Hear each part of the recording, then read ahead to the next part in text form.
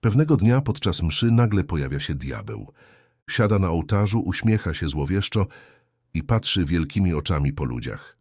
Wierni w popłochu uciekają z kościoła i tylko jeden staruszek dalej siedzi niewzruszony, spokojnie przyglądając się bestii.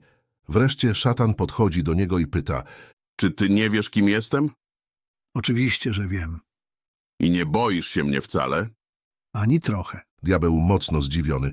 Boją się mnie wszyscy, a ty nie? Jak to możliwe?